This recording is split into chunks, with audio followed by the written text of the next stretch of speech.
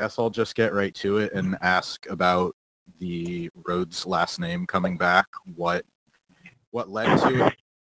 Your thoughts on using it on TV again? Just because I know in the past you've said you kind of got used to using just Cody as a mononym and you know found an appreciation for it. So just your thoughts on being Cody Rhodes on AEW TV now?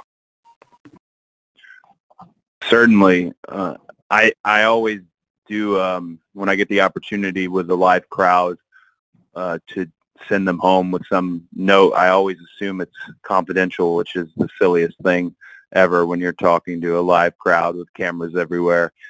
Um, I'm very happy about being Cody Rhodes again. Uh, the details of it all are, aren't important other than it was a very positive, uh, no hard feelings on either side uh, type scenario. I will uh, say, though, it's not something I probably will use in the wrestling space. Um, I've gotten very used to the American Nightmare Cody.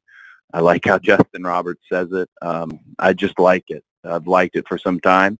Where I'm most excited about Cody Rhodes being available again is when it comes to third-party ventures and, and things like Go Big Show that I just took part in, the show I was part of that's coming to TBS, and uh, other projects like that only because in our wrestling bubble that we're all in and we're all a family and a part of, all of us, uh, everyone kind of knows the saga of Cody Rhodes. When you dip your toes into different waters in other worlds, they may not understand and they don't need that pre-existing equity or baggage. So it'll be nice to finally tell them what they can credit on the screen and where the SAG credits can go uh, and things of that nature. It was a very special day. I'm happy uh, it worked out, and I'm very thankful for everybody who was involved.